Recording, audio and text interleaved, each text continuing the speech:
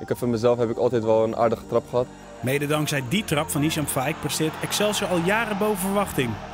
De 25-jarige middenvelder behoort samen met Sam Larsson, Larsson de demarrage, Berghuis in beweging. Larsson, Larsson!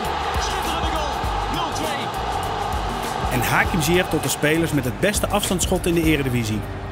Het is uh, Ziyech die dan toch zorgt voor uh, 3-1. Gewoon oefenen, oefenen, oefenen. En, uh, ik heb voor mezelf heb ik altijd wel een aardige trap gehad. Alleen als je, als je blijft trainen, dan uh, maak je hem alleen maar beter. Hoe bedoel je dat? Had je dat dan in de jeugd al bijvoorbeeld? Ja, precies. Gewoon van de kleins af aan uh, had ik al een goede linker. Maar wat ik zeg, als je, als je er meer op traint, dan wordt het alleen maar beter. En schoot je ze dan ook vanaf de eetjes bijvoorbeeld al vanaf het middenveld in de kruising? Ja, zulke goals heb ik ook wel eens gemaakt, klopt ja. Dus de tegenstander werd soms wel helemaal gek van jou?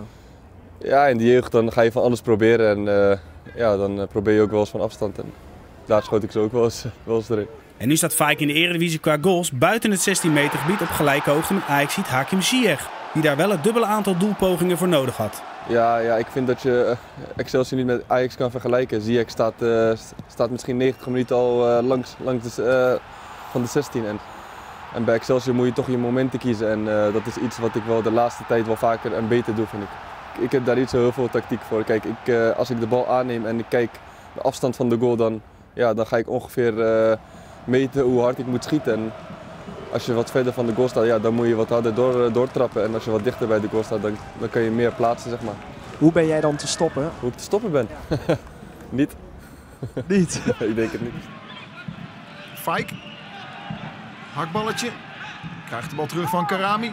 En Fike, ja, hij staat bekend om zijn schot en zijn vrije trappen. En laat dat hier weer zien. Ja, weet je wat het is? Als je, als je goed in de wedstrijd zit en je zit lekker in je vel en ik raak een bal goed, ja, dan weet ik dat hij dat hij er best wel goed in kan vliegen. Dus ja, dat is gewoon heel lastig te verdedigen, denk ik, dan iemand die, die een actie maakt en die, die je dan moet verdedigen. Dus. En welke doelman dan ook, uh, jouw ballen zijn gewoon niet tegen te houden? Ja, ligt aan de vorm van de dag, denk ik. Primo doelpunt van Fike. Ja, ik denk dat het soms ook wel een beetje geluk is. Ja, toch wel? Ja. Komende zondag een uitgebreid verhaal over Hisham Fike op VI Pro.